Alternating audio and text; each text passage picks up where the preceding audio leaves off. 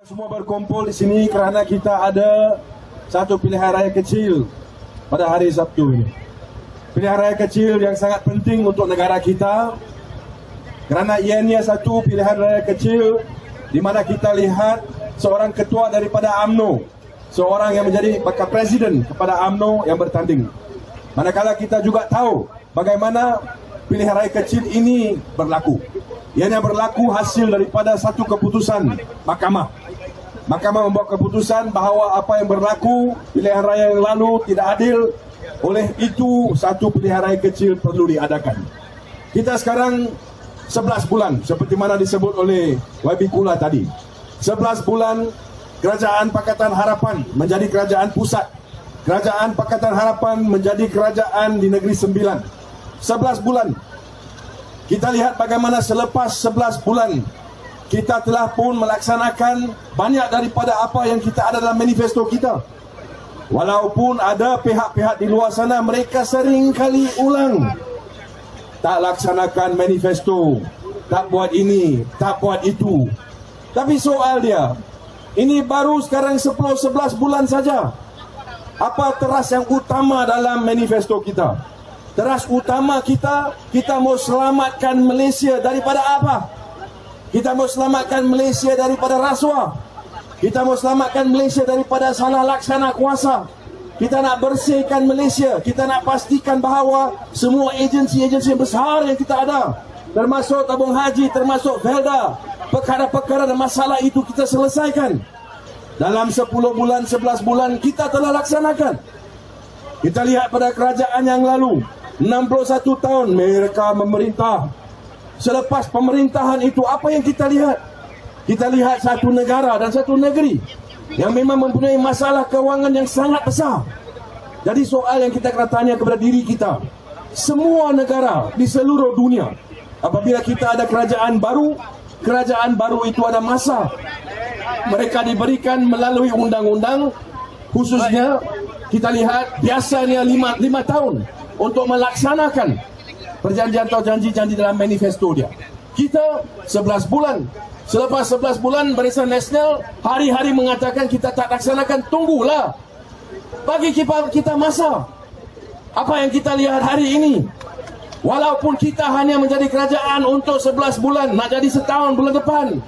Tapi kita ada pemimpin-pemimpin yang bersih. Kita ada pemimpin-pemimpin yang tidak rasuah. Kita ada pemimpin-pemimpin yang berusaha untuk pastikan bahawa wang dan dana negara ini digunakan untuk rakyat Malaysia. Bukan untuk kroni-kroni tersendiri. Itu yang kita mau. Kerajaan yang ada perbezaan daripada kerajaan Barisan Nasional. Dan kita sudah laksanakan. Mana ada di antara pemimpin kita yang ada skandal-skandal? Tidak ada.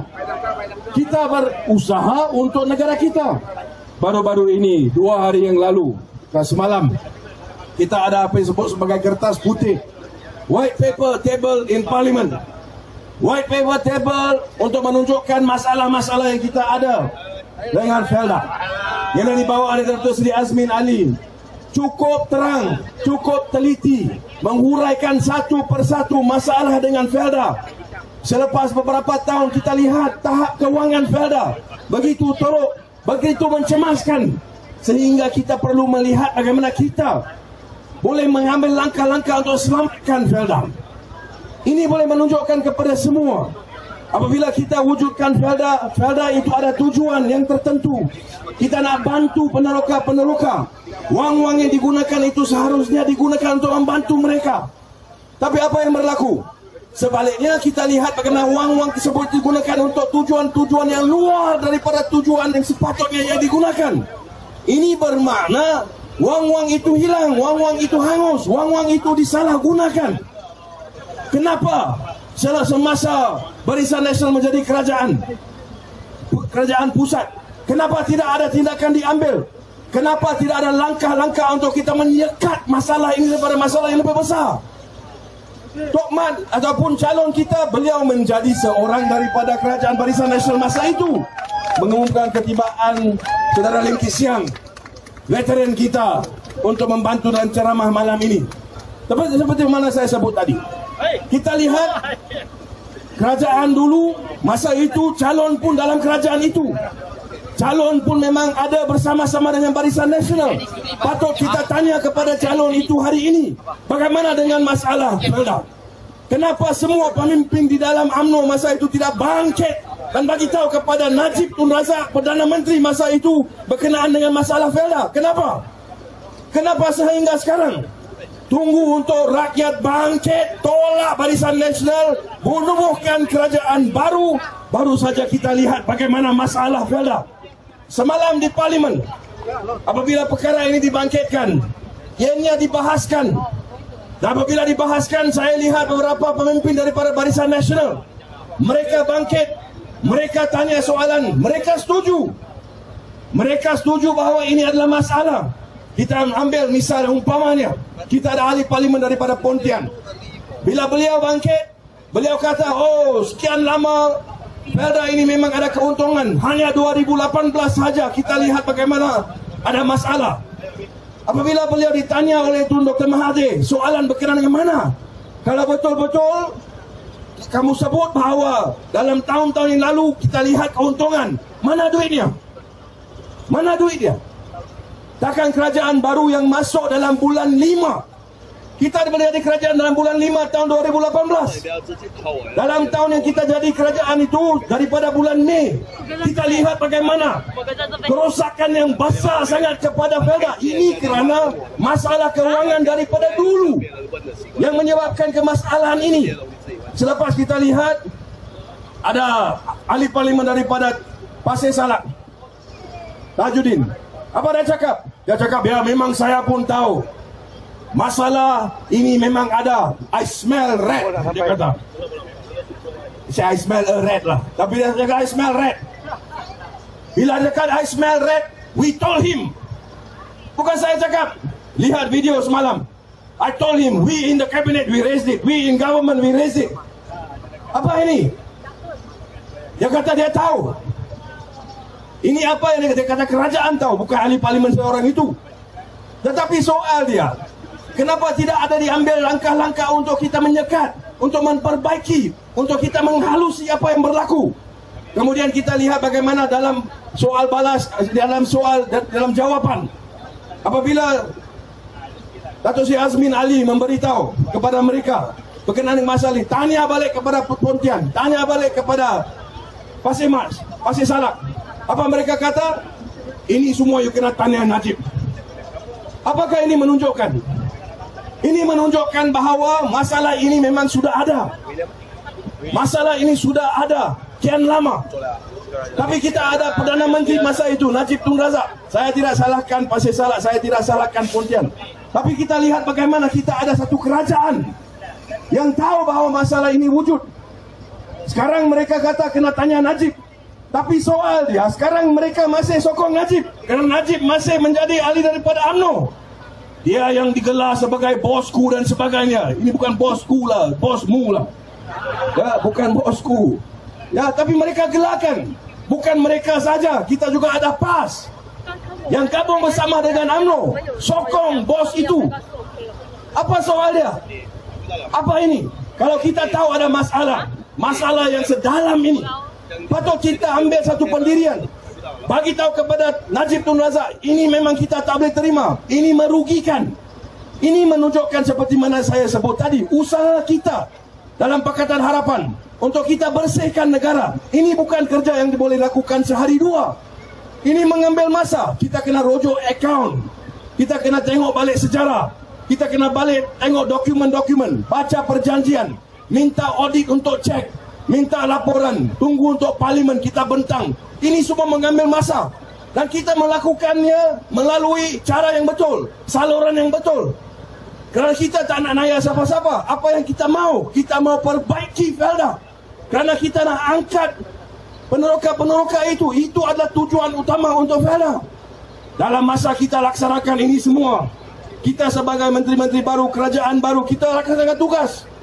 Tapi saya tengok di sini, di rantau pula saya bacalah dalam surat khabar ada satu pilihan raya kecil di mana ada soalan berkenaan dengan 10 juta. 10 juta itu soalan ditanya berkenaan dengan pembelian harta. Orang tanya, kalau beli harta Kenapa perlu beli melalui money changer? Kalau beri harta, ada harta ataupun tidak? Saya tak tahu jawapan kepada soalan itu. Tetapi itu adalah soalan-soalan yang penting yang perlu dijawab oleh Barisan Nasional semasa kempen ini. Dr. Sriram, Dr. Sriram adalah seorang calon.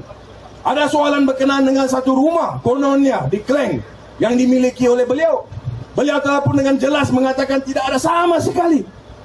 Dan ini menunjukkan bahawa kita ada calon-calon yang harus jawab soalan.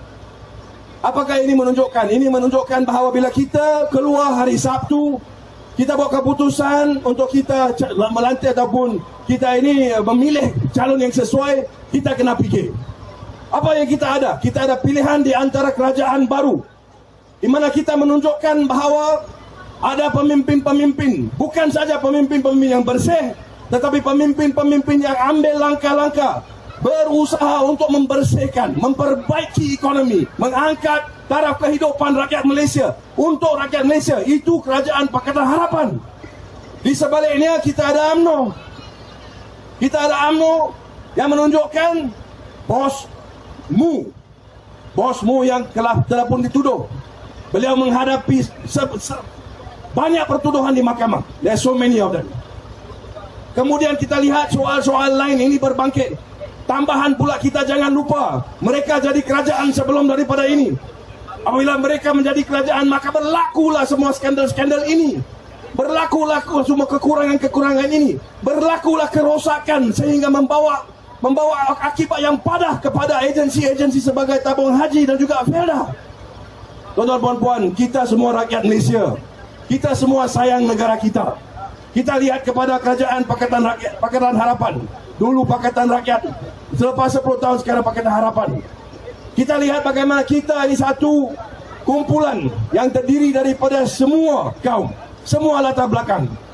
Kita ini mau mewujudkan satu negara di mana kita semua ini hormat di antara satu sama lain. Kita bina satu negara di mana semua kita boleh bangga kita sebagai anak Malaysia. Ini yang kita mau.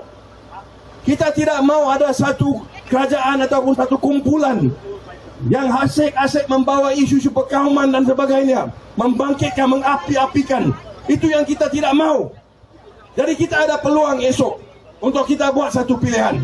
Saya minta semua di sini, kita lihat apa yang berlaku di negara ini. Kalau orang kata Pakatan Harapan tidak melaksanakan janji, tengok apa yang berlaku di parlimen satu minggu yang lepas.